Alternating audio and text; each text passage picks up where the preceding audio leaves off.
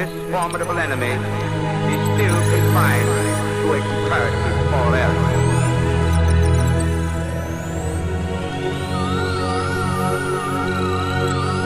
And we may place our faith in the military forces of Peterland.